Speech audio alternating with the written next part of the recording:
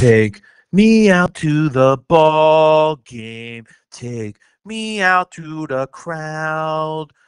No, hey, hey, you leave me alone. I'm allowed to shoot here. I got to pass. Who do you think you are? I am. I am. It's baseball season, and I'm going to take whatever picture I want. So, Stephen, we're, we're like a week away. Actually, it is a week away from today that the Phillies have their home opener. Oh. To, and that and that means baseball season. That means I go and take lots of baseball photos. Hopefully, I'm still waiting on the pass. I think everybody's waiting on their pass right now.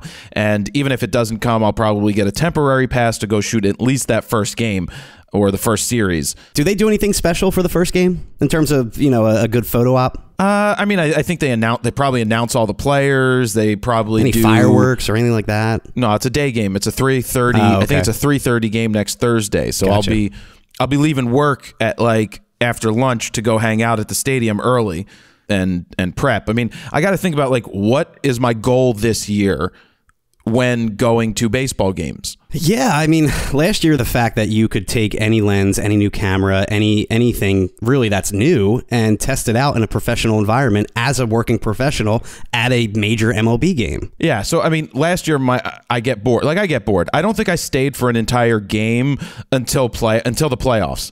It's rare that I'm going to stay for an entire game. I mean, like I said, it really just became an opportunity to test out a new piece of gear. It wasn't really like you were covering the game. It was like, hey, let me take a couple photos during an inning or two and then, you know, call it a day. It also was a good opportunity for me to get out and go do something instead of drive myself nuts For here at the studio or at home trying to figure out what do I want to do. Whereas I could go there and get some just be around people. There's so many times, especially during the winter time, when there's new lenses that come out or a new new piece of gear, and you're like, I have nothing to photograph. There's no sports going on. Now this gives you that chance every other day to go and shoot a uh, a game. I mean, I could just go shoot some rocks if I really, really, really wanted to. I could, I could take pictures of rocks and, and then call it a review in Canada. I could do that. Who are you talking that about? would that would totally work out. So anyway, my focus I've I've thought about for this year for the games is obviously using the four x five. I'm still prepping. I've been shooting with it. I'm waiting on nine uh, four by fives to be developed right now. I did that math of baseball thing the other day where I'm trying to figure out what speed film I need to bring because what will my shutter speed and aperture be if I uh, want to get a certain angle in a certain shot. Now I put this up on Instagram and, and quickly I'll go over it. Is there there's an angle that we call inside third base. It's right next to the dugout for the away team, but it's it has a perfect view of home plate. If you remember seeing the impossible shot, that is the angle that you get to shoot. Ah, and yes. so I know that the the four x five camera that I have has a 178 millimeter lens, which is about a 50 millimeter equivalent. So I found a photo that was shot exactly at 50 millimeters at f 2.5, which is what the lens shoots at that I took last year with the R3. So I, I have a representation of the exact settings that I might need. Now I was shooting at one two thousandth of a second at f2.5 at 1600 ISO at 50 millimeters. And so I have to figure out the math for what shutter speed do I want to use. I know what aperture I want. Actually, I know the aperture, I know the shutter speed, and the only thing I need to worry about is the ISO because the max shutter speed on the camera is one five hundredth of a second. I want to shoot around f two point five, which means the only thing I need to figure out is the ISO based off of those settings that I shot that picture at last year. So it's easy to figure out. Well, yeah, you just split everything in half. You you, you plan on shooting at two five still, even with large format? I mean that that's gonna be razor razor thin depth of field, right? It depends. It depends on what I'm doing. So I talked to a bunch of different photographers, and people are saying that I'm overcomplicating and I'm overthinking, and I, and I'm not. I'm not overcomplicating. I'm preparing for different scenarios of what I want to do. I feel like you do this on every shoot, though. You really think about it. I'm not saying you're overthinking it, but like you really take the time before you go there to have everything ready and and good to go. Well, everybody keeps pointing out the specific photographer who shot in the 40s with a 4x5, and I have his books and I go through them. The difference is the lens that he was using or the lenses that they had available for these cameras back then were like f5.6 or they're shooting at f6.3. So everything they're shooting most likely is going to be more in focus. I'm not going for just taking pictures with a 4x5. Like, what's the point of just taking a picture with the 4x5 that's just going to be a larger format of a basic baseball photo? Oh, I'm with you. Right. And so I what what I was talking about my buddy Dan uh, talking to him about because he's the one who's been processing the negatives until I process them here is I might need to shoot some test shots at two five, then raise the aperture to like three two to four and to five six just to see what the effect will give me when I when I when I get the photo in the baseball stadium. Because I would think that uh, an equivalent depth of field on a large format camera would be, you know, like five six on that would be equivalent to like a two eight or something on a regular thirty five millimeter full frame. Well, I'm not trying to do the exact same thing. I'm trying the the reason you have this lens is you're trying to get this look that you just can't get anywhere else. Sure, you, you And want it's a that trade-off. F one look basically. It's kinda, but it, it's kind of a trade off because it, it's like, how sharp is it at f two point five? And the photo of me sitting on the bench looks amazing. The way that the at the art museum, the way that everything dissipates in the background, and it kind of looks cool because you can still see what it is. But on the flip side, when we took 7. F7.1 in front of the art museum, it is so tack sharp, and the bokeh of the background is fine, but it looks more like a regular picture. And figuring out the film. So if I'm shooting from that inside third base, I know what the lighting is at 1600 ISO. I need to the the the the film that I can get is 400 speed film, right? And I'm thinking about night games under the lights, and that's why I'm doing doing the math. The 1600 goes to 800, goes to 400. That's two stops of light. I was at one two thousandth of a second at f2.5. I know I now like my max shutter speed is one five hundredth of a second. So I change that to one five hundredth.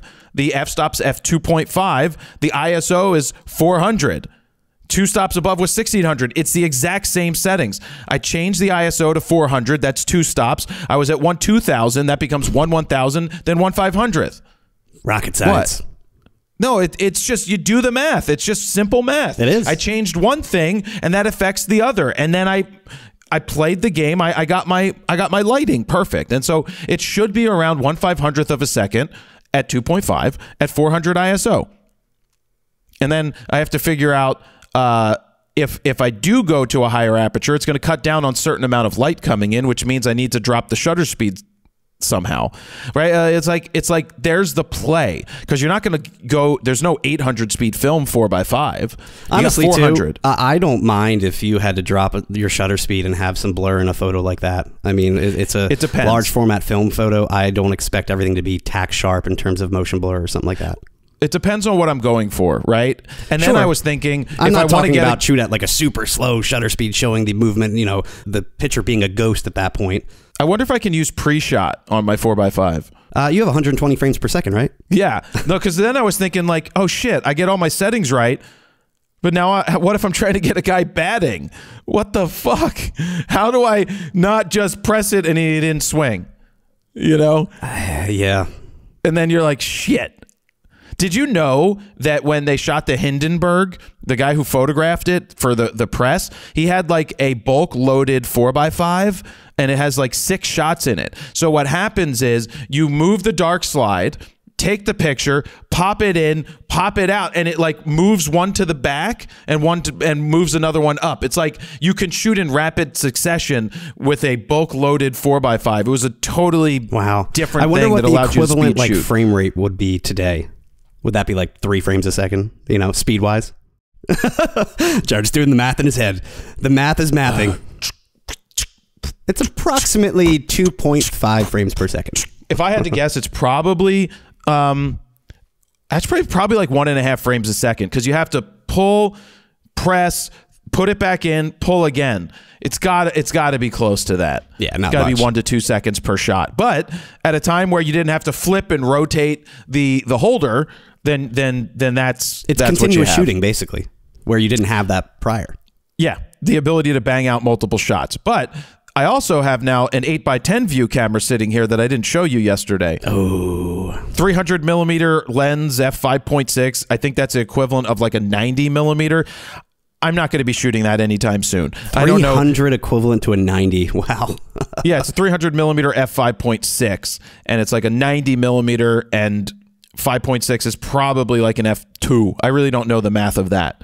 yeah, even wider than that. It, it might be. I just don't under. I don't know the maths for that, and I haven't looked into it yet. And I don't know that because it's an actual eight by ten where you can rotate and tilt and pan and do all of the corrections that you could do to get all the different things. Anyway, baseball season's coming up. More baseball photos, more testing. Uh, I mean, shit. W- w- like if an R1's coming, if new lenses, we're going to talk about a Sony rumor. If that lens is coming, then I'm going to take that out to the baseball field because real world situations call for real world photos. Yeah, I just came up with that. I just found a calculator for an 8x10 to a 35 millimeter full frame equivalent lens wise. You said a 305.6, right? Yeah. It says a 305.6 would be equivalent to about a 40 millimeter 0.73. Really? That's what it says. Okay. 40 millimeters? Uh, yeah, I don't know. All right. All right. I mean, that's very interesting. I'll have to play with it and see. I haven't even taken it. If it was a box. 4x5, it would be equivalent to about an 81 millimeter 1.5.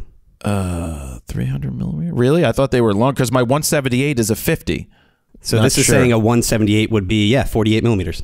Okay. All right. So then it then it's probably pretty close. Yeah. Well, I, I don't think I'm getting into 8 by 10 anytime soon. I got to work with the 4 by 5 A 40 millimeter 0.73. I mean, your your depth of field has to be nothing. Obviously, depending on your subjective camera distance, but wow. Oh, geez. It's so complicated. It is so complicated. Um, anyway, welcome to Raw Talk episode number 94. If you're listening on the YouTubes, feel free to leave comments that don't suck. Um, they tend to suck on um, Insta. They tend, that's the one thing that happens when you put stuff on YouTube or where comments are able to be posted. People love to shit on you, Love to hate. especially before they even listen to something. Sounds familiar. Before they even listen to something, they like to go ahead and leave comments. But anyway, I don't want to go down that rabbit hole. Where did I put the phone number, Stephen? I can't find the phone number. Stephen, where did my phone number go? Well, I can tell them the phone number because I memorized it 313 710 9729. I definitely do not have the text line up in front of me.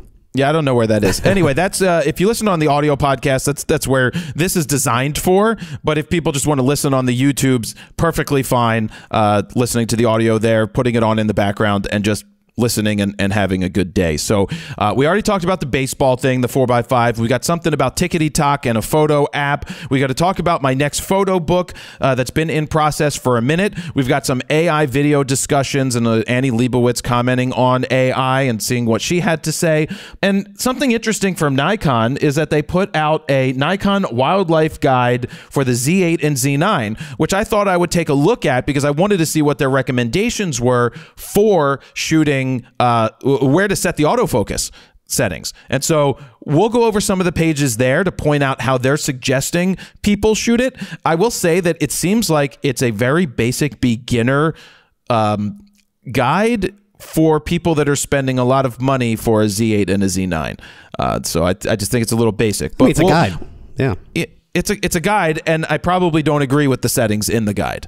Um, and I'll read those when we get there. But let let's talk about the next photo book for a minute. Um, I did my first photo book a couple years ago during the pandemic. That was the Bernie book. Uh, the the book that I was debating to do as well at the time had to do with my early photography, but geared towards the concert work. Yes. and so it took a lot of time to try and figure out what was I going to cover. Am I going to put my mom's photo story in a photo book along with early music stuff? Is it going to be like my early stuff from 2000 and after and and it didn't matter if it was music, sports or other.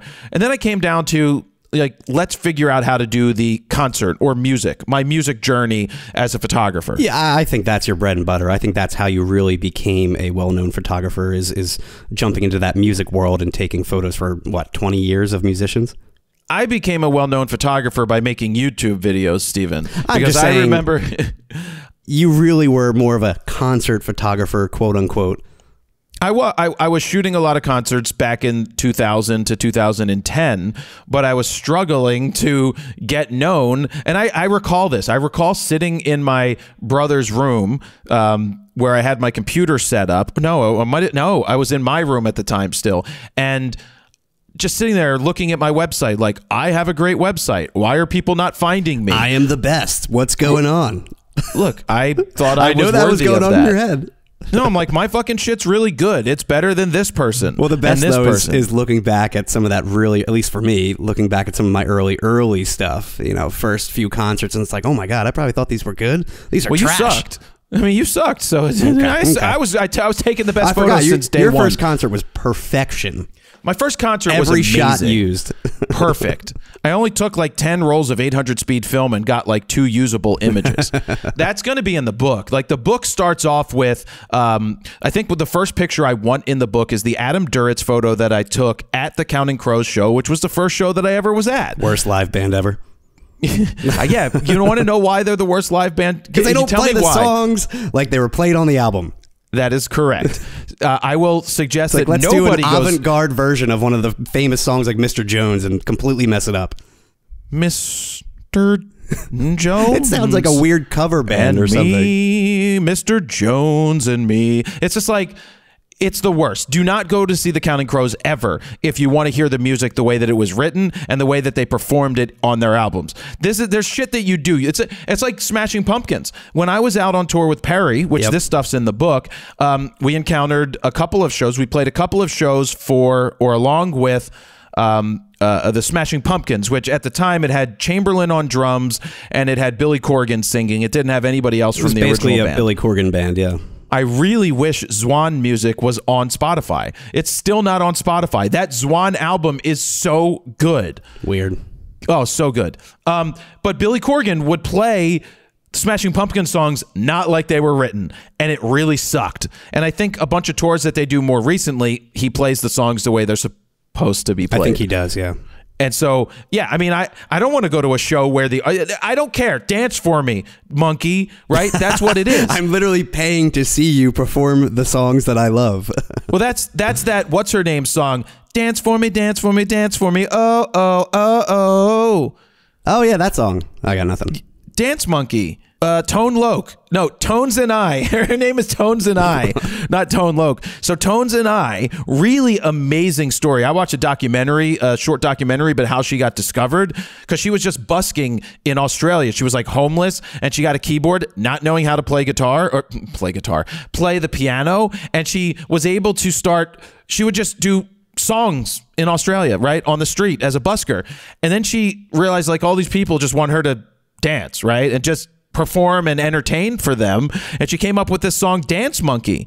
The moral of the story is go listen to the Tones and I song and find on YouTube where you hear the, the, the, the it's kind of inspiring how she was discovered and how she went from nothing and just busking and becoming a success, success with those things.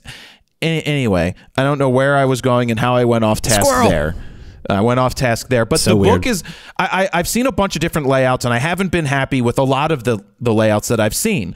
And so I got to the point where I had all my four by sixes printed out from Printique, and I started to lay out the sections on the floor. They're still laid out over there on the oh, floor they're here still at the on studio. the floor. Uh, what was that? Months ago when you did that?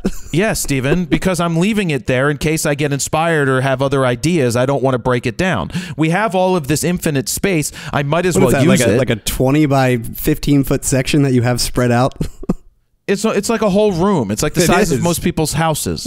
but I I I wanted to lay it out on the ground, and I filmed it. I was going into the basement yesterday and I was like tiptoeing, trying to go around all the photos and not step on them.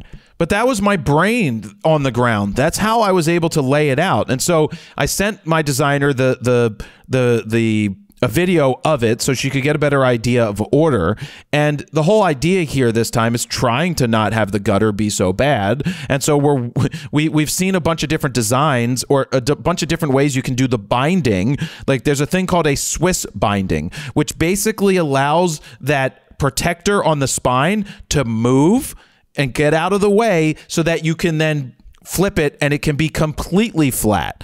That means though that you start to see the binding strings every 16 pages or something. Well, I I don't know the photos that you you have picked just yet, but you know the Bernie photos. A lot of them were very you know centered. A lot of the subject matter was in the center of the photo. Is it the same Greatest with the photo ever. That'd be greatest composition ever. the best of the best? Is it the same with the concert photos, or is there a lot of you know centered subjects? they're all over the place. It's different because sometimes you have group shots and sometimes you have rule of thirds stuff. It's it's very similar. I'm just saying, well, the gutter at the end of the day, if it was the same as the Bernie book, will really be a big deal. to me it was really a big deal. And it- yeah, I think it would still be because we lost so much in the gutter. But that's because again, the photos, a lot of them were centered. No, the reason I got upset was that the original sample that I saw showed us it laying flat, and I was really happy, and that's what I approved. Oh, yeah. And when we got the final books, they're like, "Oh, well, these were machine bound, which means they're tighter." And I was way, like, "Well, way tighter. like, well." If you're going to send me a sample to uh, uh, uh, approve, it should be the same exact thing that I will be getting. This is just fucking annoying, really annoying. So the book is being laid out. Uh, I I I have to go through and and I think it's better now what she did, but I need to see it a little differently on a PDF. So I need her to resend that, and I also need to just go through and like there was like a photo that was from later in my career that somehow she put in a certain position early, and I'm like, no, that doesn't belong there. So we really haven't, you know, talked about this specific photo book or what you plan on doing with it, with it. But what happens when you do the final approval and it actually starts to, you know, go into production and be made? What's your ETA for that? Is that a few months away? Is that next month? Is that next I don't year? we realized that I I hired her uh, in May of last year. No, March. so it's already of last been year. ten months, It's been give or ten take. months, but there's been yeah. I, it just it's not. I part of it is it was very. It's more difficult to outline something that's not fully chronological order. Sure. Whereas the other book was chronological order. I wanted it in the order that the photos were taken. And so this just it has different sections. There's the first tour with Perry Farrell. Like it starts off with my early work, some film work, some early digital in the early 2000s.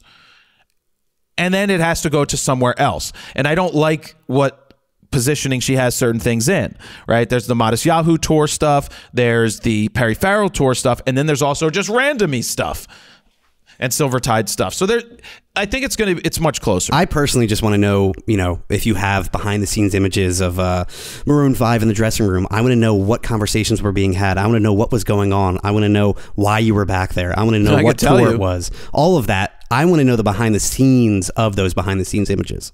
Well, and that's exactly what I'm going to be explaining Cool. in the podcast portion. I'll have some written portion in the book. The Maroon 5 thing is super interesting, how I ended up backstage with them. And I'll, I'll just tell you guys now. They were opening for John Mayer.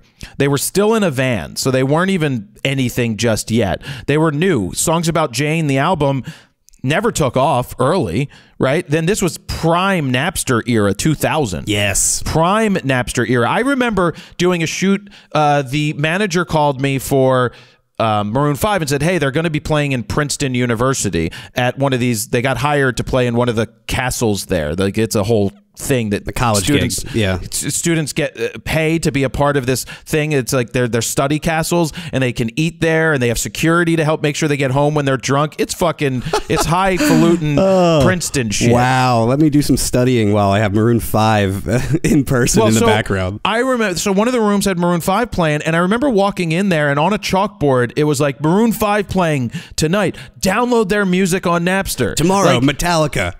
yeah, but no, I mean it on the chalkboard. I remember it saying download their stuff. So this was the beginning of it. People were not going to buy the album Oh, yeah. when they could go download it at the time. But so I, I just walked backstage myself. I just walked backstage. I don't know what I was doing. I just security didn't stop me and I went and I walked back and there they were folding their laundry that they had done, just sitting there backstage, shot on film.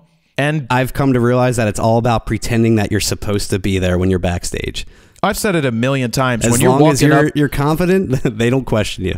Well, and and so and, and most of the security people there, they're just hired guns that aren't really security. They're young people like they're not stopping shit Yeah, if something happens. so like when you're walking up to a gate going to backstage, I make the first contact. Hey man, what's going on? How you doing? And I keep walking. They stop. They want to say something. Like I did this the other day when I went out to Temple University to shoot some uh, women's lacrosse. Not like they're really securing women's lacrosse very well. it's a little different there. But I walk in and they have, you know, you, to get on the field, you have to go through a little barricade. There was these two kids sitting at a makeshift desk, and I walk. I'm like, "Hey guys, what's going on? Gonna go take some photos." They're like, "Okay." You know, and then I just walk onto the field. So you just act as if, but also don't be a dick. Sure, Um, anyway, sure. So yeah, there's a lot of behind the scenes photos like that, whether it was with Jet or Norah Jones or the Counting Crows or Perry Farrell and Modest Yahoo and Silvertide and man, there's Beck photos and uh, Mariah Carey, All over the place. Confessional. Yeah. It's like it's it's Top all 40 over. to grunge to everything in between. I didn't put the Marilyn Manson photos in there. That's one With thing I didn't. spitting at you or whatever he was doing. Yeah, I didn't have him spit it, but some of the, those photos were so tough. That show was so dark to shoot at the Electric Factory back in the Electric day, Factory in general film. just sucked. They always Yeah, had those was- weird red, orange, wash fills. The worst. It, it was tough. I shot back there though. That was much brighter. Mm. Well, when they bring their own lights, it was always fine. Yeah. But usually bands weren't big enough when they played the E Factory to do that. no. So this book is in the works. Another large format book. It's going to be another seven pounds.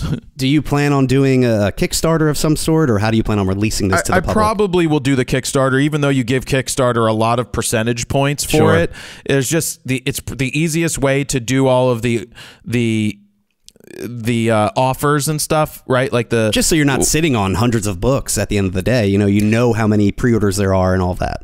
Yeah, but you, I, I last time with the other one, I already had the books ordered before the Kickstarter because Yeah. it there's like months and months that it takes, and I don't feel that it's right to make people wait eight months, nine months for a product that they bought on Kickstarter. Oh, I've I just I've waited years in the past for products that I've uh, funded via Kickstarter. yeah. So I, I think it, it's the, the only way that you could do it otherwise is if you do it, you set up a store on your website and you have the early bird specials and you have all of that stuff. You do your but I just think I just think you do it on the Kickstarter part because they collect it. People don't get charged until uh, until the thing ends, right? So it's like it's more just back end stuff. It, it- it's easier for for me as the creator. But what I need to do, prices are up. I'm going to need to make sure that that the, the cost of the book makes sense, Mm. so that I, that I mean the goal is to obviously break even for me. Sure. really, it's break even, and then I have extra books, and you try to make money extra after that. Um, and this should be hopefully an easier sell than a, a Bernie book, which would turn off most of the half the people out there. Politics, And I get it, yeah. you, you just hope that this this you're able to sell pre-sell a lot more. I still would probably do the 1250 books. Um, the cost on that look with the Swi- Swiss bindings more expensive. It's like $31 and change per book. And that's not accounting for like 20 grand that I got to pay for the designer. And it's the designer that is also doing the coordinating with this the, the lab and pro and, and and and just managing the whole product uh, Yeah. process, which is not which is worth it, right? Like I've always said, you could find someone to do it for for half the price, but it's not going to work out, and you're going to then have to hire someone else to to pick up the trash. But they're going to do half the job, yeah.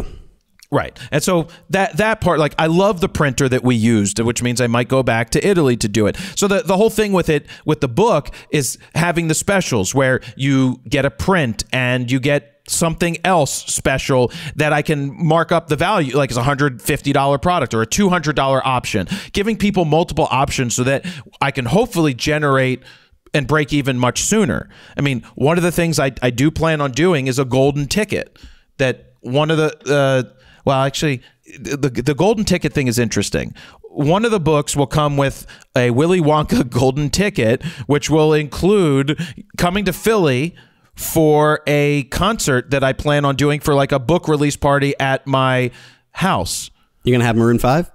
No, no, no, I'm not gonna have Maroon Five. I, I could have. I'm gonna have musicians playing, but I want to do a party like that, and that's one of the golden tickets is getting the trip here to Philly to come to that party. And I don't know if I will offer. Maybe I will offer an option where someone can buy a ticket for a super high value. Like there's only going to be like $30,000. five of those or something. You want to be and- with and- me at my own house? Hey, 50 yeah, but grand. But hey, I mean, that's what you do on Kickstarter. like people when they put out like movies, do you want to be in the movie? It's fifty grand. Yeah, right? yeah, just no, to have I- like a speaking line. So it's just something but that, yeah. but it's something that if someone sees value in that and they want to do that, then then it will be an option, and that's a way that you. What would the number be for you? I don't have a number yet. I haven't decided. Ballpark. Five grand, Okay. at least. yeah. Twenty five hundred, it maybe twenty five hundred. What would you know, that include for them? Not flight, I assume, right? Just the just the the privilege to be at the Yeah. No, House the only one that photo. the only one that would get flown in would be the golden ticket winner, sure, yeah, that makes sense. right? And so there's the golden ticket winner to to to come to the event, and so that that would be like for two people. Is it right? black You- tie optional? There's no black tie at my house. Is it I shoot raw shirt optional? yes, I shoot raw shirt. Extra optional. tight, extra, extra small. medium. Ah, yes. Okay. So that's that's the idea. Those are the ideas I'm kicking around, and so that way, if you can if you can get a couple of people to spend more money because they see value in it, that makes it much easier to break even uh, and start to turn a profit on the book. Look, my goal is not to make a shit ton of money off of making a book, but the book acts as a business card that is better than any other business card you could send to anybody because no one's throwing that book out. Let me leave send this it to them twenty pound business card on your desk. seven pounds. seven pounds. So anyway, that's the little update on the book that's going on. Uh, I'll keep you guys updated when I figure out a Cool. layout and and just figure out if we can get the binding right. Uh, I, I I'm sure you will. I might threaten them actually. I you just know might who threaten I them am? right off the bat. No, I'd just be like, look, if you don't get this, if it's not up to the standard, because they did send a sample of the Swiss binding and I open it up and I'm seeing other issues that showed up. I'm like, how could you guys let this book out? Like A where the sample printing needs was to be literally a sample of the final product. Like if I get a, a, a sample paint card, the final paint should be the exact same color. You know what I mean? There's a difference though.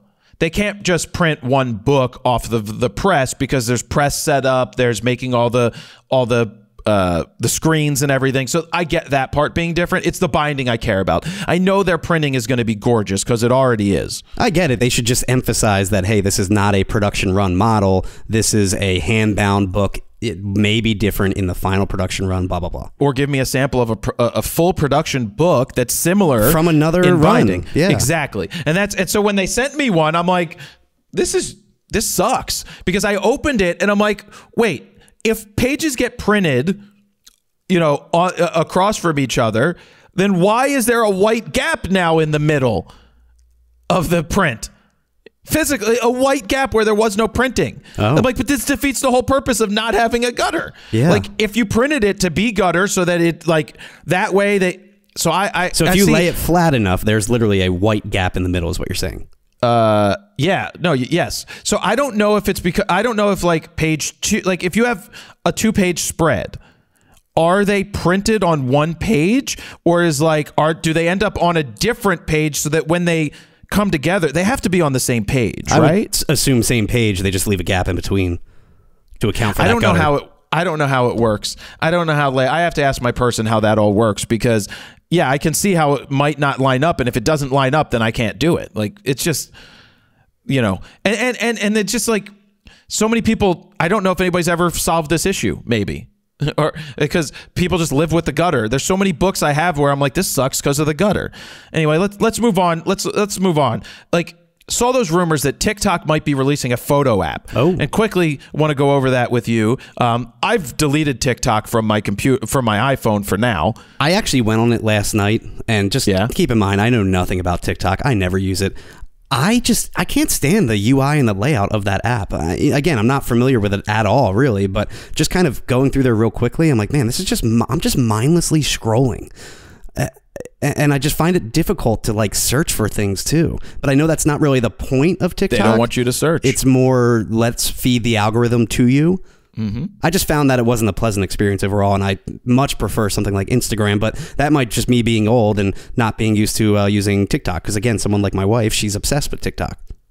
Uh, yeah. So that's I, I deleted it because I don't want to get sucked into it. The the China thing about it right now, you know, elevating certain things. I talked about it on Photo News Fix this week, um, and that's my hesitation. But with if they come out with a photo app, I'll 100% download the photo app, try to build a following there if it's possible. But the thing you're going to have to be careful of is what do the terms of service say? Will China be will will TikTok be able to take your images and do shit with it? Not that I really worry about it. Of course, the security issues are definitely there, but uh, my other concern is will it just become a rehashed version of TikTok where Well, people are just going to be re uploading their TikToks to that app? Or is it meant to be just a stills centric app, which I doubt that's going to be the case, but we'll see. Wouldn't just feel that like be interesting? a, a still centric like Instagram used would- to be? Yeah. Wouldn't that be interesting if it's like the if you want video, you go to TikTok. If you want to have photo discussions, you go to TikTok photo, and But I think they have it there. They really need to limit it to photos only. They can't even We'll allow for video because it's just going to be again in the beginning everyone just posting their TikToks over there trying to gain more of a following and get people back to TikTok. Yeah. Well, I we'll, we'll see because it's like threads. Why on threads do you post videos and and you can post videos and photos in threads as well? Like I get when it's meant to be more Twitter and just text only, yeah. Well, yeah, yeah, technically. But anyway, I, I just thought we would bring that up real quick because that, it's an interesting thing to think about. I have no problem with TikTok trying to do that. Now, is it bad timing because they're being uh, threatened right now that they have six months to to divest and sell TikTok to an American company in order to not be banned and blocked? So, in terms of the ban, we talked about that in detail last week. I talked about it on Photo News Fix this week as well. Um, I, I still don't think it's going to happen. I think I think they will sell. They're worth way too much money for them to risk being banned in the United States because there's a lot of investment money, VC money that is thrown there from American investors, and so there's no way they're going to allow it to just not be here where there's 170 million people and billions of dollars to be made. Oh, yeah. But I'll try a photo app if they have it, but I just think it might sure. be tough timing if they decide to put it out now. I also think it's just going to be tough to still compete with Instagram. I mean, there's been other people like uh, is Vero still around? Vero, whatever. Vero. I mean, I mean, they did a lot of things right, but I just think they didn't catch on. I think it's going to be very tough to catch on. yeah, it's tough to get get lightning in a bottle. Exactly. It, it, it really Any is. app. Yeah. So we'll see what happens with TikTok. If they do have a photo app, it's going to be interesting to see if it comes out and how it works. Um, have you been seeing some of this OpenAI stuff, the videos from the uh, the software they have called Sora? I have. Where and it's, it's scary and mind blowing and just wow. yeah so for those who don't know you've seen the ChatGPT you've seen uh, uh, generative ai where you can type a word type stuff in and it will add photos you know fill in the spaces. Well sora is that for video. You can give it a text prompt like a certain type of dog painting a picture of its favorite toy uh, painting a painting of its favorite toy and it creates a moving video of that. Or you could say an elephant made of leaves strolling through the forest. Or you could have two women sitting and interviewing each other. It's pretty insane what this thing is capable of doing. And so there's many schools of thought. There's people that are totally anti this, and then there's people who are like all in on it. What what do you think of it, Stephen, after seeing it? I think it's a very scary thing in general, uh, mainly for people that work in the high end production, special effects area, CGI, stuff like that, because I think it's going to overtake Hollywood where they can simply just make something up via text prompt uh, instead of spending millions of dollars on CGI work, and it will look incredibly real. Now I don't know how how that works in terms of licensing and putting that into a movie and stuff like that, but I'm sure there will be some sort of subscription based platform eventually that they will create for Hollywood for cinema in general. But what what do you think overall? I mean, so so yeah, is it is it scary? Yeah, the the negative aspects of it are absolutely possible, right? The political ramifications of putting a Exactly. president or a candidate in a compromising position and people believing it. And I think it's more scary for a public figure like that, where they could scan the entire internet and see all of the, the clips and, and Hollywood movies of a celebrity or whatever it may be, and really get a perfect visual to recreate their face and put them in a different situation where that obviously really didn't happen. Where I guess the average person, it's a lot harder to be like, hey, take myself and put me somewhere because there's probably not enough information to be like, hey, put Stephen Eckert in this spot. But you start talking about celebrity and public figures, that's when it becomes really, really scary. And I mean, I already see it with t- like video games. There's video game clips out there. The video game clips are so real. I have people like my grandparents sharing it and be like, "Oh my god, I can't believe this happened!" Like a fake tornado in a video game somewhere, and they think it's real.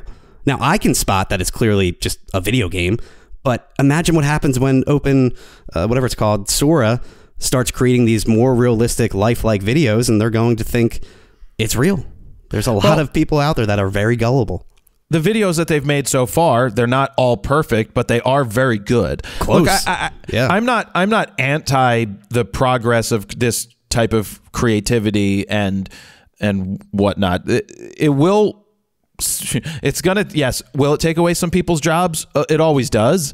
Um, but the people that learn the technologies and get behind it and adapt are the ones that come out in the forefront and are able to make a living out of it or able to adapt and just grow with it. Uh, I look. It's gonna it's gonna happen whether you like it or not at this point. So just being a hater isn't gonna work. Like you can fight, try to fight this stuff. You could you can attempt to do it. It's not gonna stop it. So you got to learn it and see how you can use it to your advantage. The issue that people are having right now is they're not forthcoming with where they got all of the data that they trained the AI model on. Right? They said that they they got some of the stuff where they had licenses, but they can make like if you make a deal with Google, right, and you can you can uh, scrape all of Google for all the information. I mean, that's YouTube too, right? Right. If you can scrape YouTube for all of that stuff, I'm not getting paid for that. If they used photos, if they used whatever, I'm not getting paid for that. And so the there was a bad interview with someone from OpenAI where she the, the woman couldn't answer the questions about did they use X, Y, and Z to uh, train the model, and she's like, I'm not sure about that. To quote them, she said, if they were publicly available, publicly available to use, there might be that data, but I'm not sure. I'm not confident about it. I'm just going to go into the details of the data that was used, but it was publicly available or licensed data. Yeah, so it doesn't Incredibly matter. vague answer.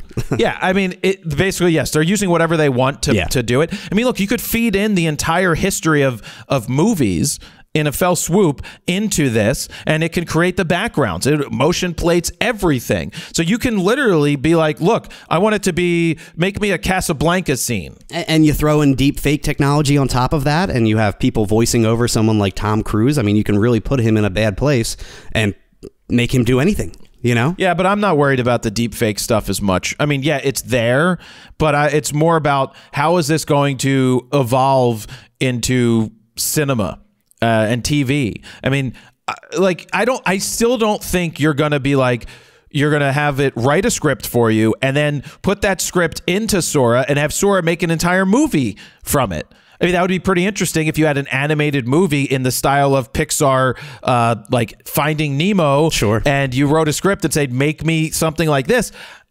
But there's someone who still needs to polish the stuff. There's someone who needs to still come up with most of the general ideas to then input into these models and see what happens. That that leads us to something that Annie Leibovitz said and she was talking about not worrying about AI or that she's not worried about it at all. Of course, she's not. Her career is pretty much done at this point. Yeah, Annie Leibovitz. yeah. So Annie Leibovitz basically says that she's not worried about artificial intelligence um, and that photography itself isn't real. Well, what I would say to that is the photography that she's creating generally is made up out of nowhere. Correct. Um, but what? But but you can't just read a headline and then and then be like, this person is so wrong. Um, so she says that that let's see. Leibovitz gave her thoughts on AI, and I'm reading an article from Petapixel here, citing my source. Leibovitz gave her thoughts on AI while being inducted uh, as a foreign As- associate member of the French Academy of Fine Arts in a ceremony at the Institute of France on Wednesday. And quote, that doesn't worry me at all, she tells the AFP. With each technological progress, the uh, there are hesitations and concerns. You just have to take the plunge and learn how to use it. That's one thing. Learn how to use it is very important. Uh, in her comments, Leibovitz suggested that AI generated images have just as much merit as photographs. Quote, photography itself is not really real. I like to use Photoshop. I use the tools available. Well, it all depends, right? That's the Kate Middleton thing. It all Yeah. depends on how you're using it and how you're manipulating something. And uh, Pete Souza came out and talked about how they should have called the Kate Middleton photo fake, just an outright fake because of what she used, and then cites that, you know, some of the things that are okay to do are exposure, make it brighter, you know, contrast, like that, which is then you're still manipulating I was going to say that you're just contradicting yourself at that point. But Stephen, is anything we're doing digitally really real? Because it's basically If you really want to go down that road, I, bet- I don't know. We're taking the light, we're converting it into zeros and ones, and then putting it out as a you know, converting it into a picture. Anyway, I don't know. uh, I I just think when it comes to photojournalism, like someone again like Pete Souza or something like that, where you are literally not allowed to manipulate a photo in any way, minus your basic edits, like like, like you said, exposure, contrast, whatever it may be. I think that is truly a real photograph versus you know someone something like Annie Leibovitz, where she's taking something and highly stylizing it and editing it via Photoshop. Yeah, but she also then goes and she adds that even framing a shot implies editing and controls on some level, which is true. Even yeah. in photojournalism, you have the ability to crop out without cropping just by the way that you compose the image. You can manipulate the context for sure. You can tell the story how you want it to be told. Yep, that's exactly what you do. So, you know, I think a lot of her images are uh, made up anyway. They're highly stylized, highly edited. They are what they are, Which but is fine. You know that, Yeah. it's right, and it's fine. So.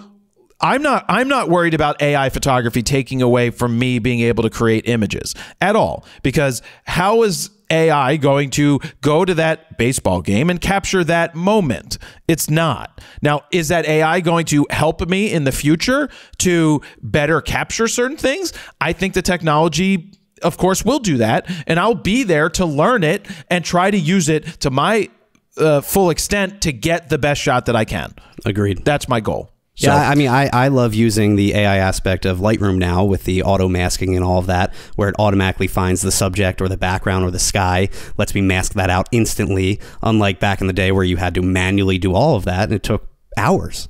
yeah. You use it to your advantage and uh, you just don't go over the top. Now, moving on, I found it interesting that Nikon put out a Z9 Z8 professional setting guide, wildlife edition, which I wanted to read because my goal was to find out what are their recommendations for how to use the Z9 and Z8, you know, properly, because people tell me I don't know how to set up the camera properly. Um, but I wanted to see what their suggestions were for how to set their autofocus. And it's interesting, a lot of the things. I find this to be a very basic manual. Um, like basic camera settings, they talk about AF area mode, 3D tracking, ISO sensitivity. This is page uh, 18, uh, page 16. They have This is obviously specific to wildlife yes, shooting. specific to wildlife shooting. Okay. and it the, the ISO sensitivity. They're telling you ISO auto is where they want you to shoot picture stand uh, style standard, white balance, auto, raw or JPEG, or or shooting that stuff, which is fine. But they go on to explain the the different AF area modes. 3D tracking. Select 3D tracking for AF area mode to automatically track focus on fast moving animals. But then there's uh, some caution 3D tracking. The camera may be unable to track subjects that are similar in color, brightness, or patterns to the background, change visibility in size, color, or brightness, are too large or too small, too bright or too dark, move quickly, or are obstructed by other objects or leave a frame. Man, it sounds like 3D tracking isn't capable of doing very much. That explains why it misses so much. But I'm just saying, Stephen. I have I'm no just comment. Saying, I'm just saying that's why it misses so much. I, I, it's not the only. I didn't come here to bash on what they did. It's good that they're putting out this this thing. But the more you read it, the more you're like, I just don't agree with this stuff. Like page 22. Page 22. Tips for wildlife photography. The following settings are recommended depending on the scene you are shooting. If a stationary subject suddenly starts to move, we recommend uh, assigning AF area mode 3D tracking to a function button. I mean, basically, they want you to have multiple AF area modes. AF modes capable or accessible at one time, which is like way too much thinking to even worry about. Um, uh, so, to capture a subject moving at high speeds, we recommend selecting auto for ISO sensitivity, minimum shutter speed in the photo shooting menu. When auto is selected, the camera will choose the minimum shutter speed, blah, blah, blah, blah, blah. They're basically telling you to shoot on full auto. Um, and they're telling you aperture priority is really where they want you to shoot. And I find that to be really a bad recommendation especially when you have a Z8 and a Z9. I mean, I, I would say most wildlife photographers probably do shoot in some sort of auto mode with compensation, if I had to guess. Right. Um, Right? Wouldn't you think? uh, they do, but they don't have to. Oh, I'm not saying they have to. I'm just I mean- saying I would think most do. And if this is One more of of, a beginner guide, it's not a bad recommend, recommendation. I know, but beginners with Z9s, you just Well, you know, that's the irony is like, do you really need a beginner guide if you have a Z9? But we've talked about it before where you might have unlimited money and know nothing about photography and still buy a flagship camera. Yeah, uh, there's there's a lot of oddities in here, like setting your uh, shooting mode to aperture priority and then going and talking about exposure compensation. It's like if you know that you want to underexpose or overexpose, you can just do that with your settings, with your with your shutter speed, and you know what your aperture is going to be, and you can set your ISO. The light really Well- isn't changing. Uh, unless you're, I mean, if you're tracking a bird and it's a partly sunny day and the exposure is constantly changing. Yeah, that is one of the only times that I would attempt to consider to use it. But I will say that I shot in Kenya for 12 days in manual, in full manual, and got amazing images. I mean, this guide even talks about changing the tone of the of the image in the camera. It's like, why would I worry about that? Just shoot raw. Did you find yourself having mainly like blue skies, sunny days No. in Kenya, or were there a lot of overcast days, partly cloudy days where the clouds were coming in and out, exposure was constantly changing, stuff like that? We had we had we had overcast days. We had the ones where it was the most beautiful sun in the world, but there was the storm coming Yeah. at you, right? Where the light is going to change, but it's not changing at such extremes that you can't just quickly change something. or even if you're off, say half a stop or even a stop, it's not that big of a deal, especially because you're shooting most likely at base ISO at the end of the day. So a lot of it could be corrected if you were a little off. But I, I, it seems like this is geared more towards someone that wants something straight out of camera, perfectly exposed. Yeah. Now you can go onto uh, Nikon Rumors posted this, and you can download this PDF. And, and I get to page 26 where it says medium-sized animals visiting a particular location, and they show one of the worst lion photos that you would ever see published. it's literally a lion just sitting there. The, the the it's so flat they didn't color corrected at all, and their settings were equipment use Z9, Nikon 70 to 200 2.8, shooting conditions, shutter speed 1 500th of a second, aperture 2.8, exposure compensation plus 0.3 EV, focal length 185, and their shooting mode. So the following settings are recommended for ph- photographing medium-sized animals that visit a particular location, such as a resting area or a watering hole. Aperture priority, continuous low speed of one to five frames a second. I don't know why you would dumb down your camera to do that. A- aperture priority mode. I, I assume this is meant for more animals, like you said, like resting or something like that, because it's a slow shutter speed, it's a slow frame rate. There's no need to shoot at 120 frames per second or 30 frames per second. So I kind of get that recommendation, but I don't know. Personally, I would still be shooting a little higher because you don't know what's going to happen. That's the point right there, Stephen. You don't know what's going to happen. Yeah. If you're set to five frames a second and the lion out of nowhere decides to go like fuck a giraffe, and you're like, wow, look at this. You want to get I was that at one two shot. thousandth of a second for that one. and multiple shots. Like you want to shoot at 20 frames. Like you have the ability to do it. I don't know why you wouldn't do it at this point. And and the excuse of I don't want to edit so much is not it because you just went all the way to Kenya on safari to get all the photos. Once you in can a take the extra lifetime time. photos, yeah. You can take the extra time to uh, to edit. But the reason I wanted to read this is I wanted to see what mode they suggested for autofocus. And their AF area mode they're suggesting is dynamic area AF small. That is the old school mode that isn't lock on tracking, isn't 3D, isn't face detect or IAF. I mean, again, it's for a resting animal, but I'm surprised there is not a animal uh, IAF recommendation there It it it, it doesn't in terms of subject detection. You know, Well, it doesn't make a lot of sense. And then when it came to birds, they had auto area AF, um, 3D tracking, continuous high speed, 20 frames a second for birds, aperture priority, auto ISO. So it's just. I don't like the basics that they're trying to tell you here. I don't think that makes any sense. Like, why would you shoot at one to five frames a second? And and the biggest moral of the story here and what I, really what I wanted to find out is all the recommendations of the autofocus settings because that is the biggest concern that I have. And I mentioned about the Z9, and then people comment and say, "But Jared, you're setting the camera wrong." I will just tell you that I went to Kenya, which you already know, and I had an R uh, what R3 and A9 III. And I never once changed the autofocus settings off of the settings that I had that I always use because they just work. You don't have to change through seven different settings to find the right one to work in the situation that you're in because those settings just work. Whether it's a bird, whether it's a plane, whether it's a giraffe, whether it's a, a, a dinosaur, the, the tracking settings are the tracking settings are the tracking settings. So I don't recommend reading this thing fully and, and abiding by it. I think that it's a great starting point if you're a beginner shooter.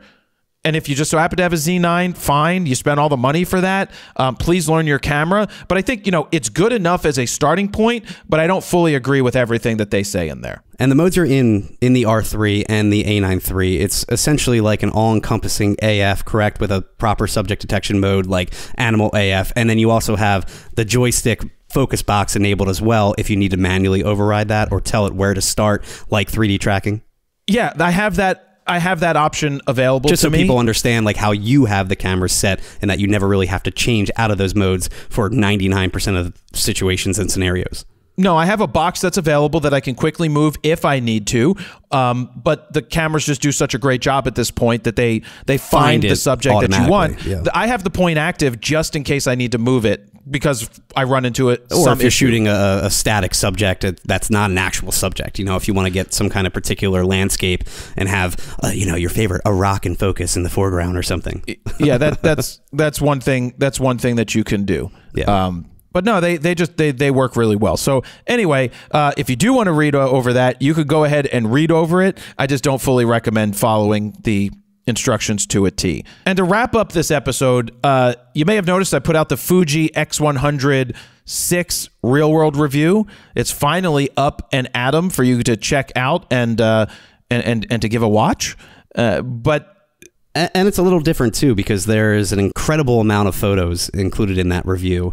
Uh, typically, we only show 10, 15, 20 photos. There's probably over 100 in that particular review because you did spend over a week, two weeks with that camera. Yep, doing a, a bunch of different shoots. I, I also shooting. uploaded I uploaded all the full res images to Flickr, by the way. Flickr.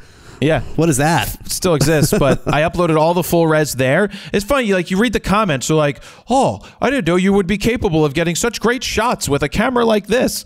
Oh, wow! It's just like, well, yeah. One, I'm really good at what I do. Put any camera in my hand, I'm going to get I great am? results.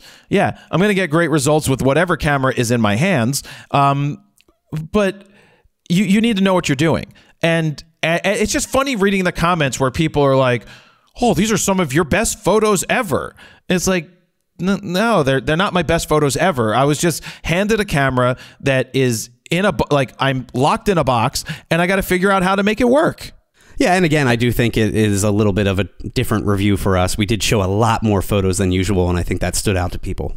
So um, there was also the rumor that that that Canon might be working on a retro camera. I mean, there's always a rumor that Fuji's working on a retro camera. They already have a camera that they could kind of turn into a retro camera in terms of like the guts. They have like the M6 Mark II, for example. It's not that old of a camera. It's a 32 megapixel sensor, APS-C sensor, 14 frames a second. It's got like 4K 30. It's got everything. Why not just put a new shell on that and you know call it a retro camera? Make it look like an AE1. Make it look like um, QL17 or whatever. That even know what that is. 1970s camera that looks more Oh. reminiscent of the Fuji X100VI. But I, I they don't know if it's necessary. That's the thing. It's like, do they need to have the expense? Are they going to sell enough? Does it get people into the brand? I, I do think, you know, with Nikon having the ZF, uh, I prefer full frame and an interchangeable camera. I think there's a lot more uh, you can do with a ZF than something like an X100VI. I just wish Canon had that option as well for for people that want to just kind of walk around and have another second camera to do that with, whether it's fixed or interchangeable camera.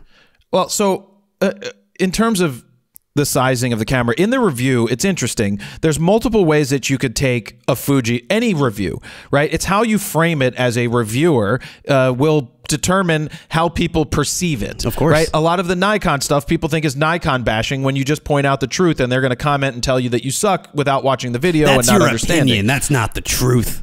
Right. So with the Fuji thing is we chose not to really talk about the other options that exist from Sony, like an A7C2 that is more expensive and that's not going to fit in your pocket. It was more of a standalone review. Let's just talk about this camera and what this camera offers only, and that's it. It was not a direct comparison with which camera should you buy if you only had to buy one camera, whether it be the R8, the A7C, whatever it may be, that $1,600, $2,000 price range. What's the best option for you? That's a totally separate video that I'm sure we will do in the near future. Yeah, it, it wouldn't be my choice to spend $1,600 on this one camera if I'm a Canon shooter and I can get an R8 that's tiny. If this is the only camera you were buying, yes. yeah. Not not going to be the only camera that Now, I'm if it was buying. a secondary camera, I think it's a great option, the Fuji X100VI. I just think there's better full frame options that aren't even that much more expensive. I mean, yeah, the A7C2 might be a little bit more expensive. Throw a lens on it, but you can change lens. It's going to be fantastic. R8's going to be fantastic. Keep in mind, Um, though, you do have to buy a lens. I mean, you're adding Yes. on at least 500 bucks more to that price point where this is coming with a fixed lens, $1,600 all in. R8, you're looking at at least two grand. A7C2, probably three grand after you add a lens, even if it's basic. I think with the R8, you're probably you could. I think that camera's pretty cheap now, right? Uh, if it's on sale for $1,300, that's not bad.